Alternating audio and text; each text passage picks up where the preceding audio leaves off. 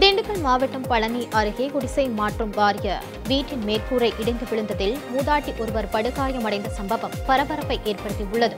கீரனூர் பேரூராட்சிக்கு உட்பட்ட ஒன்றாவது வார்டில் தமிழ்நாடு நகர்ப்புற வாழ்விட மேம்பாட்டு வாரியம் மூலம் வீடுகள் கட்டி கொடுக்கப்பட்டு பதினெட்டு ஆண்டுகள் ஆன நிலையில் தற்போது அவை பராமரிப்பின்றி சீதளமடைந்து வீடுகளின் மேற்கூரைகள் பெயர்ந்து விழுகின்றன.